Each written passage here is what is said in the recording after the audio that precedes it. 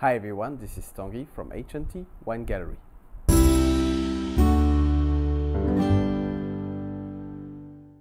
Please subscribe to our channel if you haven't yet. Today we are going to talk about malolactic fermentation or conversion. It is actually not a fermentation as no alcohol is produced.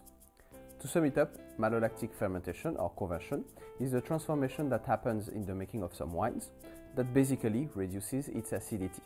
It also creates this creamy, buttery, velvety feeling or texture in wine.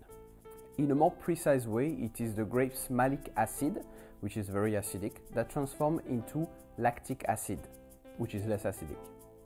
The term lactic comes from the Latin root lac or milk, and this lactic acid is the same that we find in milk, which is softer and creamier.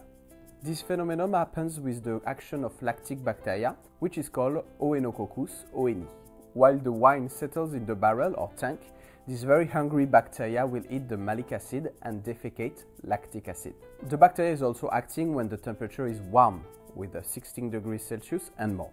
So either winemakers have to wait until it is the warm season or spring, but of course some wineries are equipped with tanks that can be heated up in order to allow it to happen when they want it. The malolactic fermentation is mostly done on red wines and sometimes on white wines. In general, it concerns mainly those aged in oak barrels. For the white wines, it is mainly for Chardonnays and Viognier, especially in the cooler climate regions such as Champagne or Burgundy. However, some winemakers may decide not to proceed with the malolactic fermentation as acidity is often valued in white wines, bringing freshness and this mouth-watering sensation. Sometimes wines that undergo too much malolactic fermentation are criticized, especially those very heavy buttery style Chardonnays. Having said that, this last one hides or removes the expression of the place where they come from. But I guess it is a matter of taste. If you would like to have your Chardonnay with more butter, or if you prefer it more crisp, it's up to you. And of course, it also depends on what you wish to pair your wine with.